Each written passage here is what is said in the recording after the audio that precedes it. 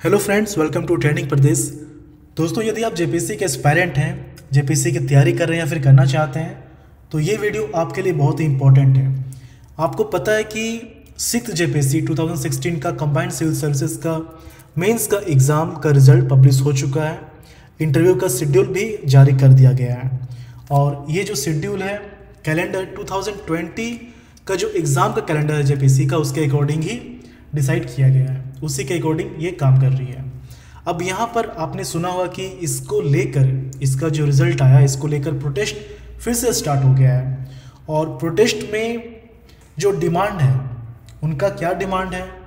इस प्रोटेस्ट का main reason क्या है? इस प्रोटेस्ट का इफ़ेक्ट जो अभी आने वाला जेपीसी है, उस पर क्या इफ़ेक्ट इसका पड़ेगा?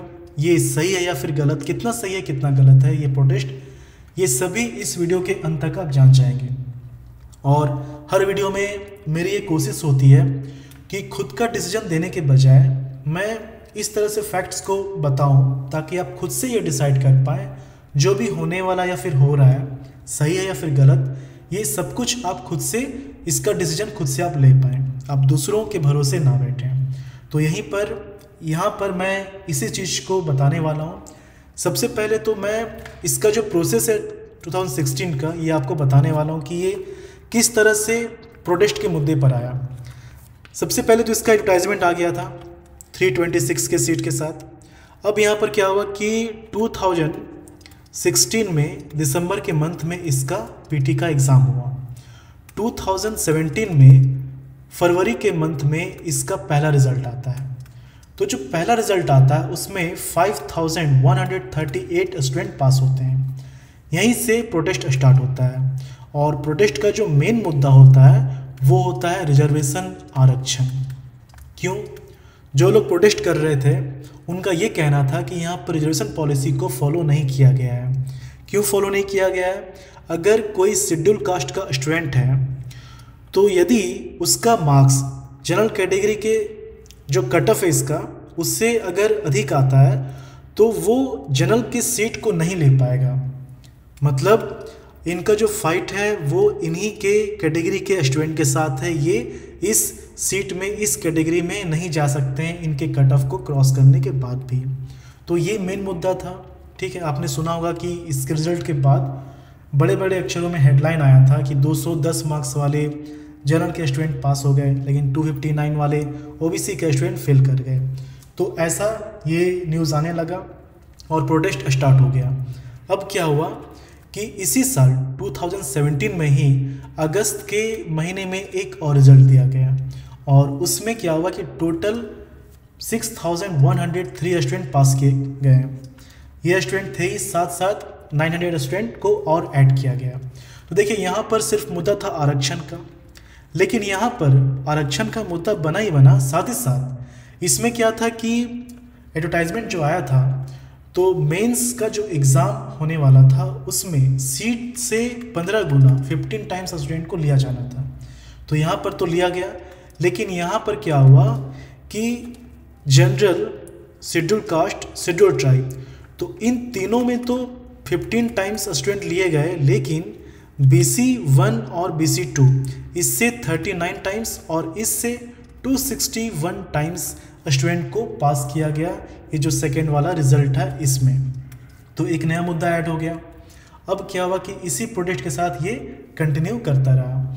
अब यहाँ पर नया रिज़ल्ट आता है। तो नया रिज़ल्ट के पहले क्या हुआ कि 2018 में इसका मेंस का एग्ज़ाम का डेट डिक्लेयर कर दिया जाता है। 24 जनवरी को एग्ज़ाम होना था, लेकिन चूँकि बहुत से आ, मुद्दा उठाए गए इसको लेकर विधानसभा भी इससे क्वेश्चन किया गया।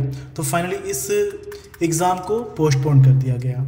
अब क्या हुआ कि 2018 में अगस्त के टाइम में एक रिज़ल्ट दिया गया जिसमें 34,000 स्टूडेंट को पास किया गया। 106 टाइम्स स्टूडेंट को लिया गया।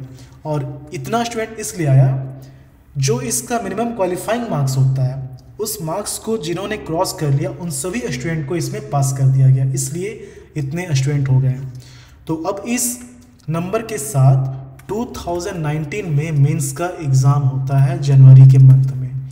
28 जनवरी से 1 फरवरी तक इसका मेंस का एग्ज़ाम होता है। अब यहाँ पर ये जो प्रोटेस्ट का मुद्दा है और गर्म हो जाता है। यहाँ पर क्या होता है कि जो एग्ज़ाम होता है तो इसमें जो क्वेश्चन पेपर रहता है, ये दो साल पुराने होते हैं। इसमें जो डेटा होता है, ये दो साल पुराने होते हैं। तो जेपीएससी के जो जो भी ऑथोराइज्ड पर्सन थे, उनका ये कहना था कि क्वेश्चन दो साल पहले ही तैयार कर लिया गया था, उसे ट्रेजरी में रखा गया था। तो सिक्स थाउज़ेंड जो स्टूडेंट थे, उनके लिए क्वेश्चन तैयार किया गया था, लेकिन इसको प्रिंट करके थर्टी फोर थाउज़ेंड स्टूडेंट के लिए इसे प्रिपेयर किया गया किया गया। तो पहला मुद्दा तो यहीं पर हो गया कि इस क्वेश्चन को खोला गया। थर्टी फोर थाउज़ेंड स्टूडेंट के लिए प्रिपेयर किया गया मतलब यहाँ से लीक होने के चांसेस हैं। पहला। दूसरा है कि जेपीसी के जो स्टाफ थे वो यहाँ पर कैंडिडेट थे, दूसरा मुद्दा। और तीसरा जो पुराना था, आरक्षण का। और 15 टाइम्स को ना लेकर 106 टाइम्स तो ये नए नए इसमें मैटर ऐड हो गए। अब इसी के साथ प्रोटेस्ट चलता रहा। अब क्या हुआ कि फाइनली जो मेंस का रिज़ल्ट आया फाइनली जो मेंस का रिज़ल्ट आया 2020 में 15 फरवरी को। तो इसमें क्या हुआ कि जो रिज़ल्ट आया, ये 6000 स्टूडेंट को कंसिडर करके ही दिया गया। टोटल सीट का थ्री टाइम्स मतलब 900 स्टूडेंट को लगभग लिया गया है। और रिज़ल्ट के साथ साथ दो दिन के बाद इंटरव्यू का भी शेड्यूल जारी कर दिया जाता है। तो यहाँ पर ये इसका शेड्यूल था, किस तरह से स्टार्टिंग से लेकर अभी तक क्या क्या मुद्दा था इसके प्रोटेस्ट के साथ, ये आपने जाना। अब यहाँ पर हम लोग बात करते हैं जो प्रोटेस्ट हो रहा है, उसका डिमांड क्या है, ये मैं आपको बताने वाला हूँ। पहला तो ये है कि इसे कैंसिल किया जाए, पूरी तरह से इसका एग्ज़ाम फिर से लिया जाए, ठीक है?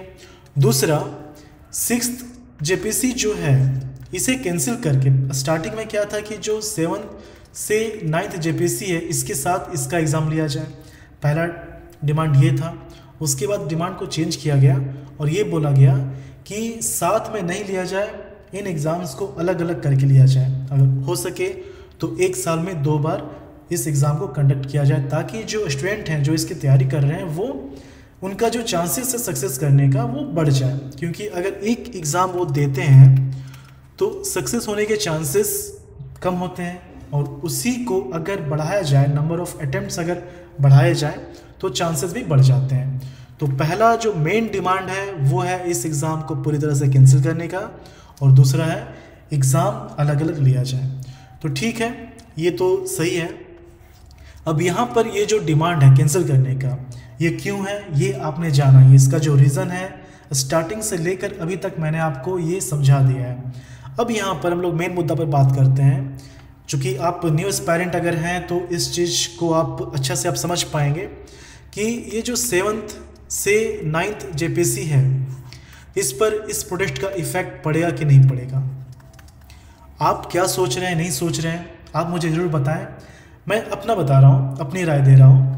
देखिए जेपीसी इस बार के कैलेंडर को बहुत अच्छे से फॉलो कर रहा है। 2020 में जो भी पब्लिश किया गया है कैलेंडर में एग्ज़ाम का जो भी शेड्यूल है, उसको वो उसी डेट में कंडक्ट कर रहा है। और इस बार चूँकि जो सेवन्थ से नाइन्थ जेपीसी है, इसका एग्ज़ाम डेट पाँच अप्रैल था, लेकिन नोटिफिकेशन अभी तक आ नहीं पाया तो इस डेट में एग्ज़ाम तो नहीं हो पाएगा लेकिन ये आप जानिए कि इसका एग्ज़ाम जून तक ले लिया जाएगा। Notification within one month मतलब मार्च तक इसका नोटिफिकेशन आ जाएगा। और इस प्रोटेस्ट का इस पर कोई फ़र्क नहीं पड़ने वाला, क्योंकि देखिए, जो मैं यहाँ पर किसी को सपोर्ट या अपोज नहीं कर रहा हूँ। देखिए, ये पूरे इंडिया का हाल यही है।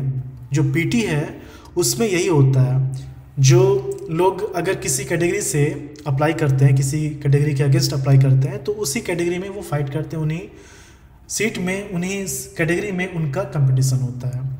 तो इसे अब चैलेंज नहीं किया जा सकता और मेन मुद्दा यही है। हाँ बाकी जो मुद्दाएँ हैं कि जे के जो स्टाफ थे, वो इसका कैंडिडेट थे, या फिर मेंस का जो क्वेश्चन था, वो स्टार्टिंग में सिक्स थाउज़ेंड स्टूडेंट के लिए प्रिपेयर किया गया था, बाद में इसे खोल कर सील ओपन करके प्रिंट किया गया थर्टी फोर थाउज़ेंड के लिए इसे प्रिपेयर किया गया। तो ये मुद्दा हो सकता है, लेकिन मेंस का जो रिज़ल्ट आया और इंटरव्यू का जो शेड्यूल दे दिया गया है एक महीना के अंदर ये सब कुछ खत्म हो जाएगा। तो अब इसमें कुछ नहीं हो सकता। है अगर कुछ होना होगा तो इंटरव्यू के डेट के पहले मतलब 24 फरवरी से पहले ही आपको पता चल जाएगा। लेकिन इस पर आप क्या सोचते हैं? इस प्रोटेस्ट को लेकर आप क्या सोचते हैं? क्या ये सही है या फिर गलत है? और अगर है तो अभी क्या करना चाहिए? अभी क्या करना चाहिए? वैसे भी देखिए जेपीसी किसी भी एग्ज़ाम को टाइम पर करवा नहीं पाती। इस चीज़ के लिए ये बदनाम है। तो अभी आप क्या सोचते हैं, ये आप कमेंट करके हमें ज़रूर बताएँ। कि गवर्नमेंट को सिक्स जेपीसी को कैंसिल करके इसको फिर से करवाना चाहिए या फिर इसे कंप्लीट करके जो नेक्स्ट जेपीसी है मतलब सेवन्थ से नाइन्थ जेपीसी इस पर गवर्नमेंट को फोकस करना चाहिए। ये आप कमेंट करके हमें ज़रूर बताएँ। और मुझे उम्मीद है कि ये जो इन्फॉर्मेशन है, ये आप समझ गए होंगे, इसका प्रोटेस्ट क्यों हो रहा है, क्या रीज़न है, और इसका इफ़ेक्ट पड़ेगा या फिर नहीं पड़ेगा फ्यूचर एग्ज़ाम में ये आप अच्छी तरह से समझ गए होंगे।